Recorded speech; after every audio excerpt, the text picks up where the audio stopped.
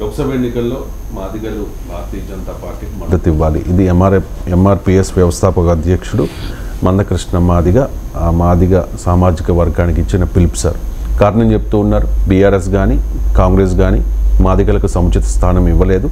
ముఖ్యంగా నాగర్ కర్నూలు సీటును ఆయన ఉదహరిస్తూ ఉన్నారు సార్. అక్కడ మాదిగ సామాజిక వర్గానికి చెందిన సంపత్తికి కాకుండా మాల సామాజిక వర్గానికి చెందిన మల్లు రవికి టికెట్ ఇచ్చారు అని చెప్పేసి.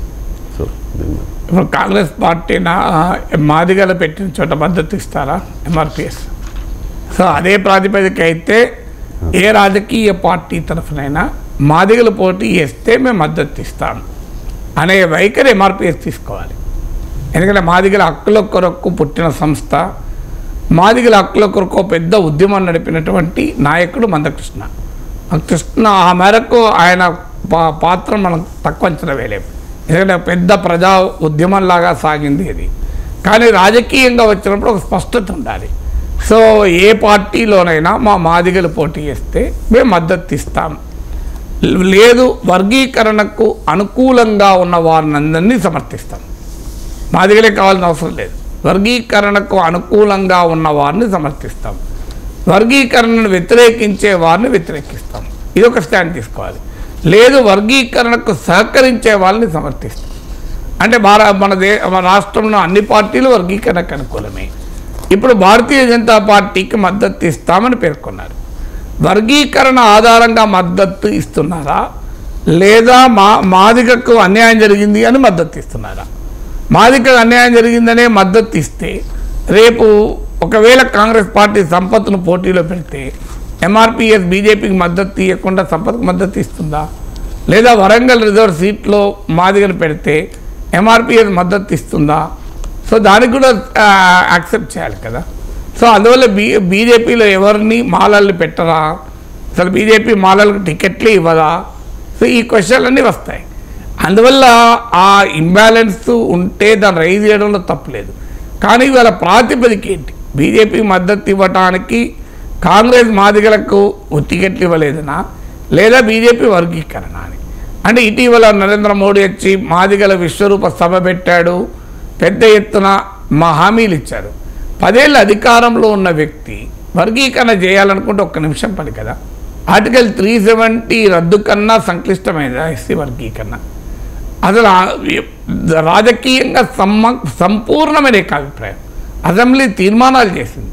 ఎక్కడ ఎవరికీ అభ్యంతరం లేదు మరి పార్లమెంట్లో చట్టం చేయొచ్చు లేదా ఒక ఆర్డినెన్స్ జారీ చేయొచ్చు పదేళ్ళుగా ఎందుకు చేయలేదు ఒక్క మాట అనొచ్చు కేంద్రం మాకేం సంబంధం లేదు మీరు రాష్ట్ర ప్రభుత్వాలు ఇక్క- వర్గీకరణ చేసుకోవచ్చు అని పార్లమెంట్లో చట్టం చేయండి మీరు జాతీయంగా ఏమీ చేయకండి కానీ ఇంతవరకు చేశారా అందువల్ల ఎన్నికలకు ముందు మీరు సభలు పెట్టి హామీలు ఇస్తే వాడికి ఏం విశ్వసనీయత ఉంటుంది ఈ పదేళ్ళు ఎందుకు చేయలేదు నా ప్రశ్నకు ఆన్సర్ ఉండాలి కదా అలా నిజంగానే వర్గీకరణ చేస్తే బీజేపీకి మద్దతు ఇస్తే మనం తప్పుపట్టలేము ఎందుకంటే బీజేపీ ఇతర విధానాలతో సంబంధం లేదు.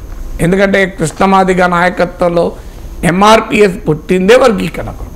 అందువల్ల తమ వర్గీకరణ అనే డిమాండ్కు మద్ సాకారం చేస్తే ఆటోమేటిక్గా వాళ్ళకు ఎంఆర్పిఎస్ మద్దతు ఇవ్వవచ్చు. కానీ అది కూడా రాజకీయాల్లో జరుగుతుందా? ఇప్పుడు చిరకాల డిమాండ్ తెలంగాణ. తెలంగాణ సాకారమైంది కాంగ్రెస్ పార్టీ చేసింది కాంగ్రెస్కు మద్దతు ఇచ్చారు అన్ని పార్టీలు మరి తెలంగాణ ఉద్యమంలో పాల్గొన్న ప్రతి పార్టీ కాంగ్రెస్ మద్దతు ఇవ్వాలి ఎందుకంటే తెలంగాణ ఇచ్చిన పార్టీ కాంగ్రెస్ కదా అని అందువల్ల రాజకీయాల్లో ఆ ఒక్క అంశమే ఉండదు అనేక అంశాలు ఉంటాయి అయినా కూడా ఎంఆర్పిఎస్కు కృష్ణమాదిగకు ఒక హక్కు ఉంది మాది చిరకాల డిమాండ్ వర్గీకరణ కనుక అది అనుకూలంగా ఎవరు నిర్ణయం తీసుకున్నా మేము వాళ్ళకి మద్దతు ఇస్తామని కానీ ఇప్పుడు బీజేపీ ఇంతవరకు వర్గీకరణ చేయలే కదా. ఇప్పుడు ఈవెన్ మా మోడీ సభకు వచ్చిపోయినాక కూడా కమిటీ చేసిన తప్ప చేసింది లేదు. అదే ఒక ఆర్డినెన్స్ జారీ చేయొచ్చు కదా. ఇప్పుడు సిఏఏ ఎన్నికల షెడ్యూల్కి ఇరవై నాలుగు గంటల ముందు సిఏఏ రూల్స్ నోటిఫై చేశారు. ఎందుకు మరి ఎస్సీ వర్గీకరణ చేయలేదు ఇరవై నాలుగు గంటల ముందు?